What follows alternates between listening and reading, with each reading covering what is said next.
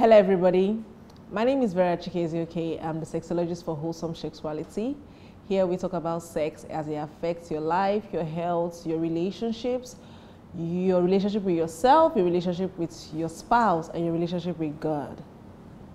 Now let's talk about sex.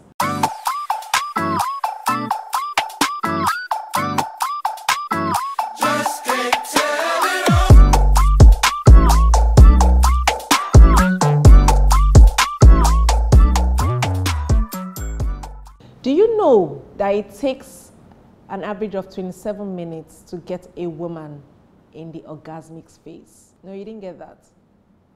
27 minutes average. That means it could be more, it could be less. But it takes an average of 27 minutes to get a woman into the orgasmic phase. That's the phase where she begins to feel or enjoy what is being done to her as regards sex. Now, why is that? We know that the man has a higher level of testosterone and the woman has estrogen. Now, what happens in the phase is the fact that it takes the woman longer time to get aroused. So, do they sometimes have quick Yes. Do they sometimes have it's quick and fast? Yes but on the average, it takes 27 minutes. So when you're complaining that I'm doing everything and she's just not feeling it, and there's a reason, it has to do with her anatomy and her biology, right? It's not her fault that it takes longer. It's not your fault that it's taking longer. But there are a few things that you need to learn to do to help hasten this process. So I would like to talk to you about the factors affecting the latency of orgasm, right? Number one is emotional attachment and trust. If the woman is disconnected from you in any way or form, her mind will not be in what she's doing. So everything inside of her is saying no, no matter what you do. She can't trust you enough to give of herself to you. She's not emotionally attached or connected to you enough to give of herself to you. You see, that's one of the reasons why they say it's easier for a man to cheat than a woman to cheat. If a woman cheats, she has carefully thought about it. She has bonded, bonded with this person emotionally. She has had some level of trust in the person for her to be able to give of herself to the person. So for you to be able to maintain a good binding or a good bond with your spouse, make sure that you are the one she trusts and she's emotionally attached to. Another way is mental arousal. So um, I say twerk your brain for her, right? Um, what are the things you're doing that gets her mentally in the mood? What are the things you do that helps her think more about you in a good way? What are the things you can do that keeps you on the top shelf of the compartments in her brain? What are the things that you can do that brings you closer? Now, the reason I'm not listing things is the fact that every human being is different. So what might be exciting to Mrs. A might not be exciting to Mrs. B. So like I always say, know your spouse and know what works for your spouse. Another thing that affects the latency of orgasm is physical um, arousal. And under physical arousal, we have foreplay. Now, I've had this question over time. How long should foreplay last? Um, when is when can you say that you've had sufficient foreplay? Um, when can you say the foreplay has gone overboard? Right. So I would like to answer it now. There is no limit to how much foreplay you can have. I have a video back that talks about foreplay. Now, the reason why people get tired of foreplay is because they are doing the same thing over and over and over and over and over again. The body has gotten so used to that that it begins to create some sort of resistance to it. Right?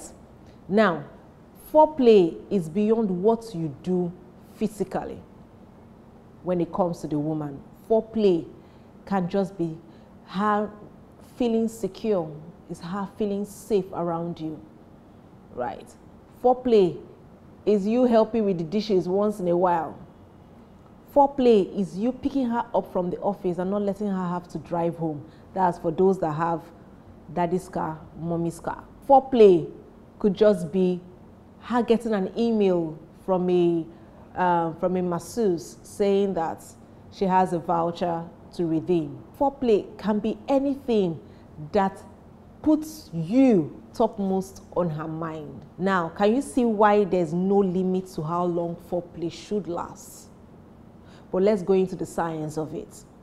Now, when you are trying to engage or when you're engaging in foreplay with your spouse, this is what happens when you're doing all the touching, the kissing, the squeezing, and every other thing that you do with your wife. Signals are being sent to the brain that, oh, something good is about to happen.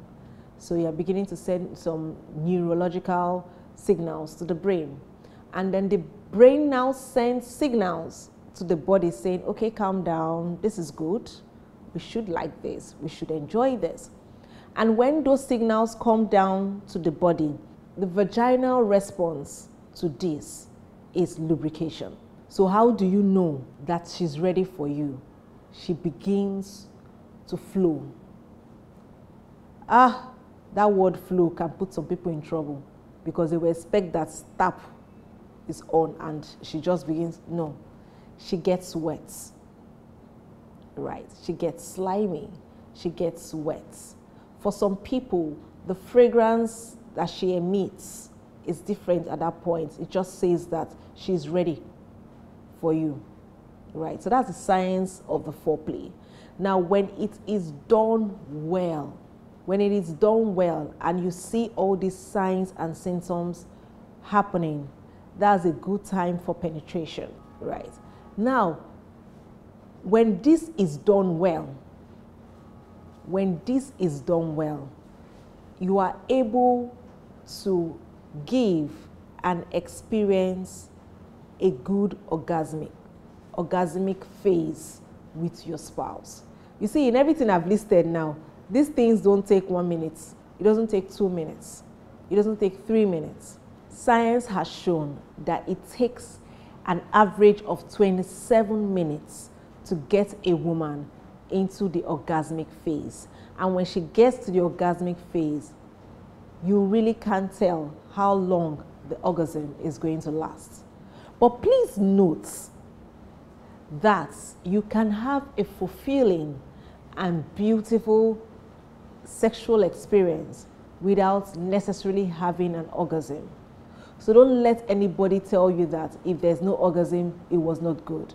Don't let people, don't let the media, don't let things steal from you. In as much as it takes an average of 27 minutes for a woman to have a good orgasm or for the woman to get into the orgasmic phase, that doesn't say that it could not be less.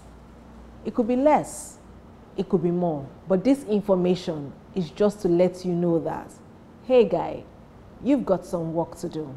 And when it's done well, you will testify. See you in the next video.